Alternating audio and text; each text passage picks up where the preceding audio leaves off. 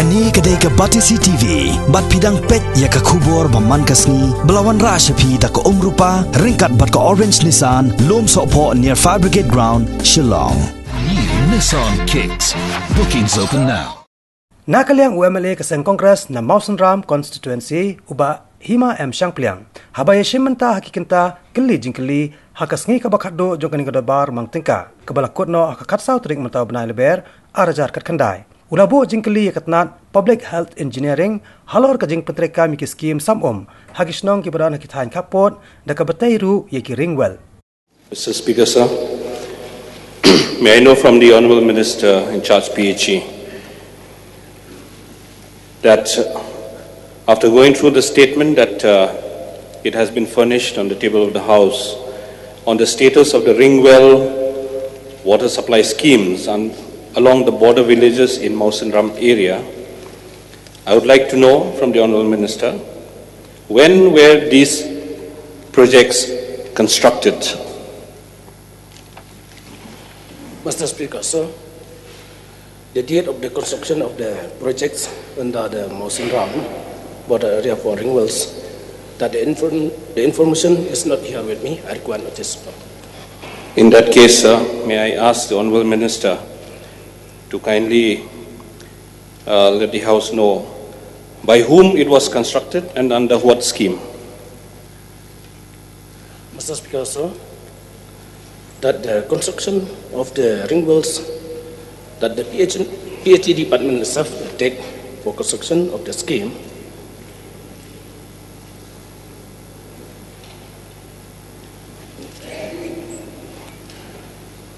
that the Department of PHE sir, will take up for construction of the scheme.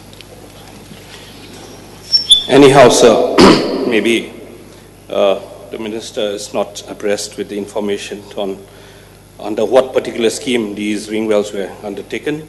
Uh, nevertheless, sir, I, have, I could see in the remarks column where the reasons for non-functioning, it says, all these ring wells have since become non-functional due to very low yield. So in that case, sir, the question is correct that there are no ring wells available in the border areas of Mawsynram areas, uh, Mawsynram constituency. So may I know, sir, uh, what steps uh, the minister would uh, take up uh, to consider uh, sanctioning of ring wells in the border areas, sir? Mr. Speaker, sir, in the, the departments, in order to vegetate the problem of PHE for formulating proposal for construction of new ring wells, 49 numbers ring in uh, 43 numbers of border villages in Mawsynram and at the, an estimate cost of about 100, one crore, one crore. I'd uh, uh, request the Honourable Minister kindly repeat once again the number of villages and the number of wells. The number of villages, sir, 43 number of border villages in Mawsynram. For construction, the new proposal is 49 numbers of wells.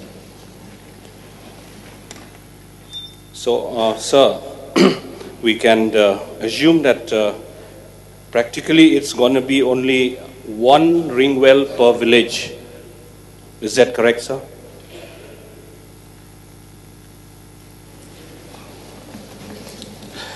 It's not correct. There is uh, some villages also that the ring well is functioning.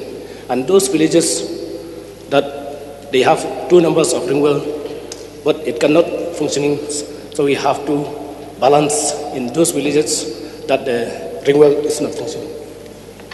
Uh, sir, from this statement we can understand there is not a single ring well that is functioning now.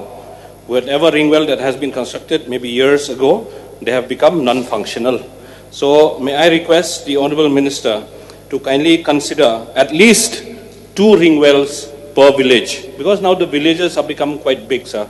Each village comprises of not less than 100 uh, houses. So therefore, sir, if you give just one ring well for one village, it is uh, very less, and maybe even two ring wells are still too less. Nevertheless, we will uh, be satisfied if two ring wells for villages can be considered by the Honorable Minister, sir.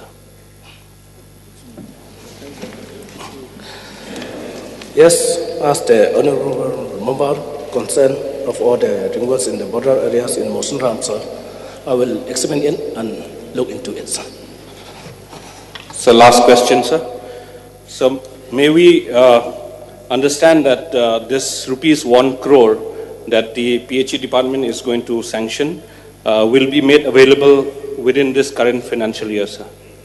So, as the honorable member also want to give assurance, but as a minister, sir, that in this budget session also, I will look when I see that this uh, proposal of the ring well in the border area, then I will take carefully and examine it and look into it, sir. Thank you, sir. Shushu hakani kasingi ka bakat do jong kani ka dor bar mang tingka. Nakalyang uba hima em syang pliang. Ula bo jing keliru yo menteri sarkar bakmi yakatnan ka kot ka kya uba Alexander L. Heng. Halor ka jingduna ki doktor bat ki wedi kinong trei haki jaka sumar jong ka sarkar hak jilla. Mr. Speaker, sir.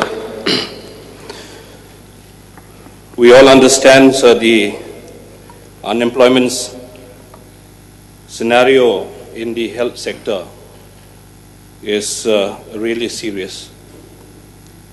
Sir, from the statement that has been placed on the table of the House for the answer related to the question number 55, I could see in serial number 23 that the Health and Family Affair, uh, Welfare Department uh, has 329 vacancies. Now, I do not know which category of uh, uh jobs are these. There are 329 vacancies. We have also discussed uh, yesterday uh, or day before relating to the uh, vacancies and the specialists. Now, sir, uh, this scenario which I would like to bring to the notice of this August House is how will the health department handle the employment of uh, the lab technicians and lab assistants which uh, we require in almost all the PHCs and the CHCs of the state. I just request the honorable member to repeat the questions first. So the question is like this, sir. Now there are many students who have passed out who are studying uh, lab technician and lab assistant who have gone and studied outside the state. Now many of these young people are still languishing without any jobs. Now, is there any possibility or any uh, scope of employment for these young people in any of the government hospitals or the health centers? So the lab technicians in the whole, the sanction it was 181 and the positions already taken is 156 and now we can see this is 25 sir. So we also understand that there are many dialysis units which have been opened in uh, the government hospitals and also there are various ICUs which have been opened in the government hospitals. What is the mode of employment in these units? Sir? Since the appointment of this unit is depend on the uh, advertisement, sir. When we call the advertisement and we meet the appointments. So that, that is where I'm trying to drive home the point the point which I want to make here is uh, now the Directorate of Health Services do not have any panel. I would like to know whether they have any kind of a examination where they could have a panel of names as and when any vacancy arises, then they could take out the names of these people from the panel that is already uh, recruited. But what I understand, sir, that it is on a first come, first served basis. Whoever brings an application, there is a vacancy and they are given appointment. So I feel that the department should look into keeping some kind of a panel. So is there any panel like that, sir? So we don't have any panel like this. So what I would like to suggest, sir, like we do, where we have the panel of the district selection committee. Now, district selection committee, I can see in the answer number uh, B2, meaning this is for the ministerial staff like peons, chokidars. But when we talk of technical people, sir, I think I may suggest the Honorable Minister Health to kindly keep a panel of names. We need panel of names by a recruiting agency through the, through the department. Perhaps maybe the Department of Health can uh, recruit uh, the lab technicians, lab assistants. Now we also have cases where, sir, on a yearly basis, hundreds of students are passing out as nurses. Now, how do we accommodate these nurses? Do you have a panel of names where these nurses could be accommodated in these government hospitals, sir? So we welcome the suggestion given by the honorable member. We'll look into it and we'll examine, sir. So my further question is, now I'm done with the nurses, with the lab technicians and the lab assistants. So I hope the department will have a panel of names where uh, it would not be randomly chosen uh, by the directorate itself, but it should be through a panel, through an examination or a recruitment process. Now, sir, there are also vacancies where uh, many hospitals do not have dentists. So what is the uh, scenario or what is the vacancy of dentists now, sir, in the state? So the vacancies, last time we have 11 already conducted by the MPSC. We are going to fill up this dentist now, sir. So what I am given to understand that the uh, department had written to the MPSC for more than a year to recruit the 11 number of dentists. Now the MPSC had taken its own time in recruitment. So that is why, sir, uh, many of these dentists who were already employed on a contractual basis had left the job. That way, sir, we have, we have uh, lost many good hands uh, in the process. So perhaps uh, in future, if the department can devise some kind of a system where these uh, uh, dentists do not leave the job and they should be immediately regularized and uh, appointed accordingly, sir. So the go, go, uh, Department of Health, not only the dentists, even the other doctors also, we are ensured that they will not leave the job, sir. I'm saying about the recruitment process, sir. I know leaving the job is their own choice, but because of the delay in their regularization of the services and in uh, strengthening their posts, so that is why they leave the job. Because there is a delay in the recruitment process. So perhaps if the minister can assure that henceforth uh, such recruitment should be uh, done within a time frame. So the process has, the, the recruitment has their own process. Definitely we are taking what the suggestion given by the member, we'll look into it, sir. So my last question. There are various uh, posts that are still vacant, uh, which are supposed to be uh, engaged by the respective NGOs who are running these hospitals.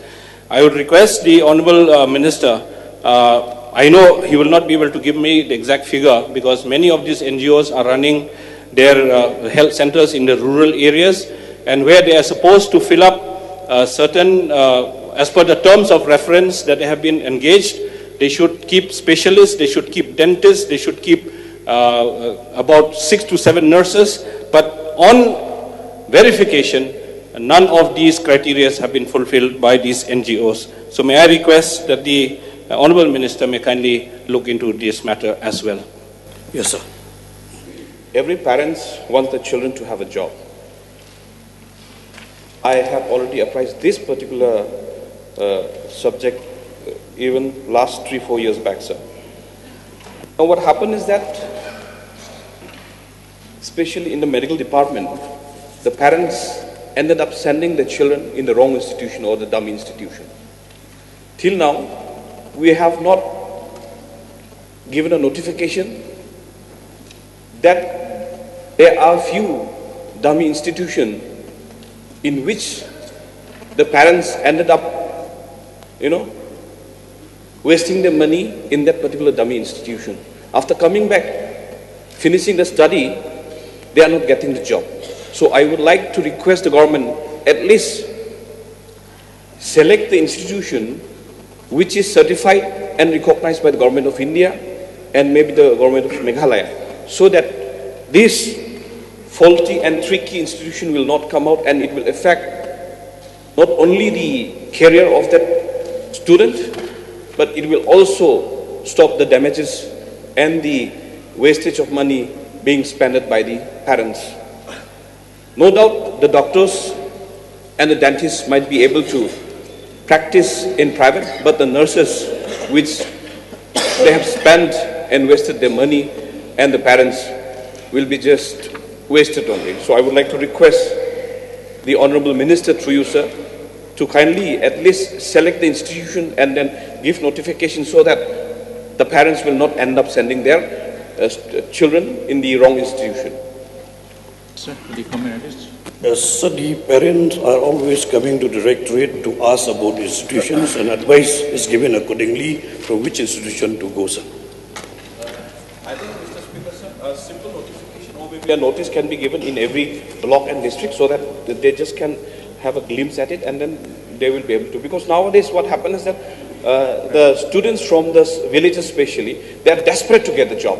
Now there's a lots of, you know, uh, how would you say, dummy agencies coming and then taking the children, you know, uh, in the, uh, you know, in guaranteeing the job that they will be given.